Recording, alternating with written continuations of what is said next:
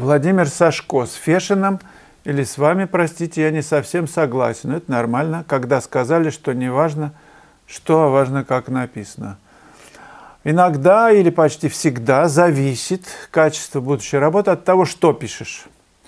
Не раз замечал по себе. Иную не хочется, но если нужно, могу сделать, но без особого огонька. А вот в другую с превеликим удовольствием. И в конце довольно привлекательный результат. Что пишешь? Ну, хорошо. Эм, просто для Фешина он просто сосредоточился на виртуозности живописи. Живопись как сама по себе для него была приоритетом. Поэтому, да, у него есть, это не отменяет его тематических работ, черемисская свадьба или бойня, посмотрите, или обливание. Обливание, по-моему, называется, или обливание водой. Капустница. Ну что, ну да, сюжет довольно-таки простой. Но как это написано, для него было важнее, чем что. Хотя, конечно, в этой капустнице собраны такие фигуры, такая сложная композиция, но она впечатляет своей правдивостью, вот, подкупает просто. Вот ты просто там находишься, в том времени, с, вот с этими людьми, которых кто-то там выпивает, вот такая промозглая какая-то вот среда осенняя, не знаю. Но такая целостность живописи просто сводит с ума до мурашек, и формат огромный. Я не спорю с вами, конечно, что ты пишешь важно. Но когда я слушаю, я не знаю, Лучана Повороте ну, и так далее, я не знаю, Карероса и прочее, я не понимаю текста, но само звучание, вибрация, это как музыка, да, вот звучит, там, там нет вообще в музыке текста.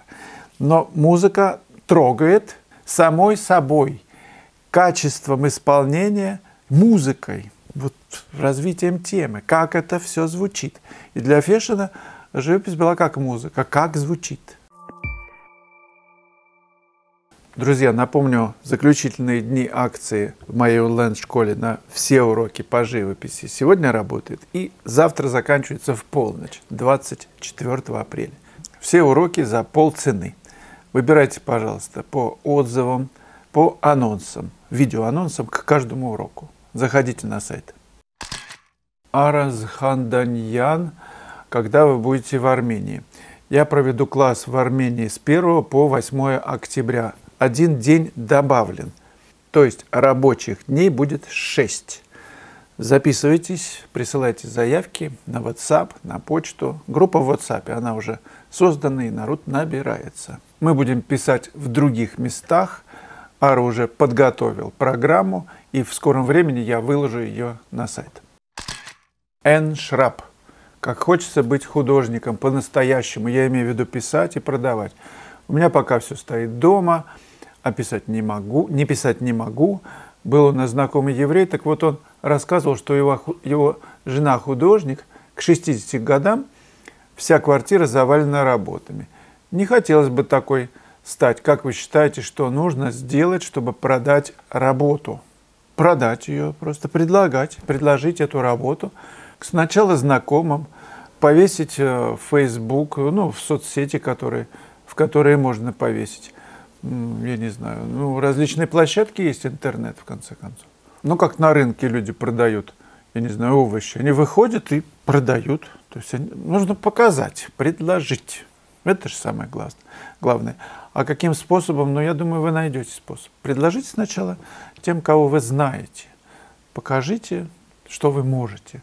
Может быть, одной работы недостаточно.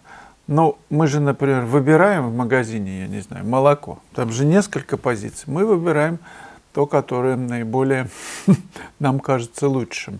Есть репутация, есть рейтинг. Так и здесь. Репутацию нужно заработать.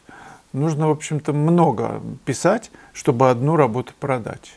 У фотографов даже есть такое э, правило, что на тысячу слайдов сделанных, да, до тысячи кадров. Если один хороший, это большая удача. Тысячу, на тысячу один.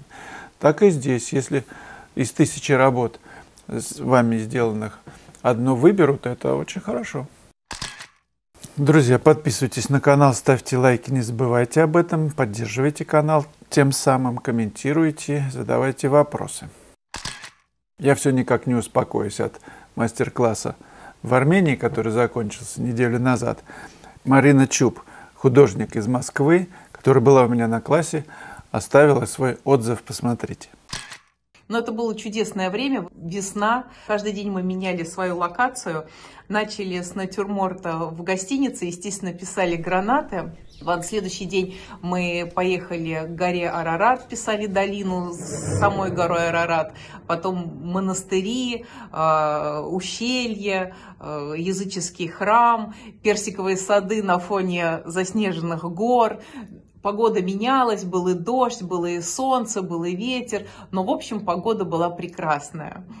Слава, как всегда, идеально давал мастер-классы, начиная с э, академических каких-то вещей, потом импрессионизм, а потом в конце уже последние два дня Слава говорит, а теперь мы будем писать так, как нельзя писать. И вы знаете, когда вы видите весь набор красок, Видите, как мастер, как мастер их смешивает, как наносит на холст, какими кистями, какой холст. И вы совершенно не понимаете, как вот это чудо, это эмоция, это настроение мастера вот складывается в совершенно великолепную работу, картину. Но это чудо, чудо Слава нам дарил каждый день. И интересно было очень еще гулять со Славой по городу, э, останавливаться в кафе и за чашечкой кофе, э, там, вазочкой мороженого. Мы рисовали скетчи. Скетчи кто ручкой, кто карандашом, Слава акварелью. Я тоже пыталась акварелью. Вот. И в последний день мы были в старом городе, и рисовали необыкновенно чудесные, милые, кривые улочки с этими волшебными тенями, и э, такой вот контраст вот этого солнца яркое, вот эта темная тень, эти здания с историей вековой, вот, э, наполненные жизнью. Это было очень интересно и мило. Ну, что сказать про организацию? Организация чудесная, группа была 20 человек, и ни один из группы не мог э, сказать, что он обделен вниманием организаторов. То есть каждый человек был важен. Были учтены мнения, мнения каждого человека. Я успела написать э, достаточное количество эскизов, и сейчас думаю вот в мастерской сделать э, серию работ э, «Армения весной». И сейчас думаю, за, пора уже записываться на осенний пленер со славой в Армении, потому что мест может и не быть, а осень, ну, не менее интересное время, чем э, весна. Хочется написать вот эти деревья с гранатами, там что там еще созревает, виноград на лозах.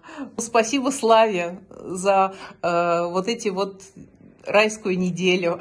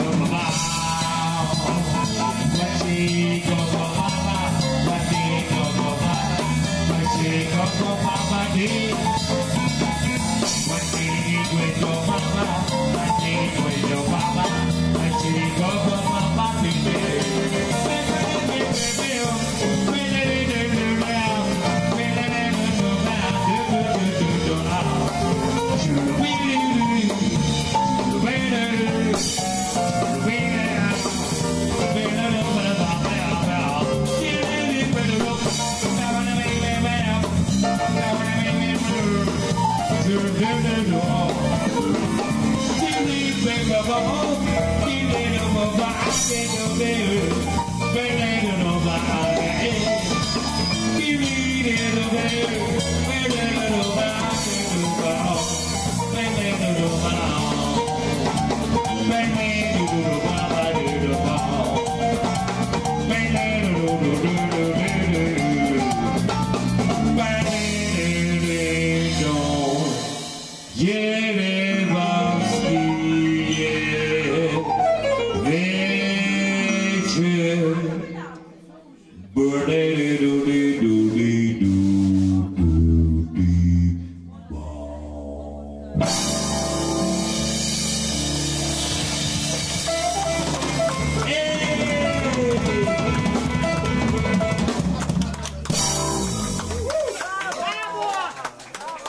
В конце ролика предлагаю посмотреть видео «Удивление в живописи».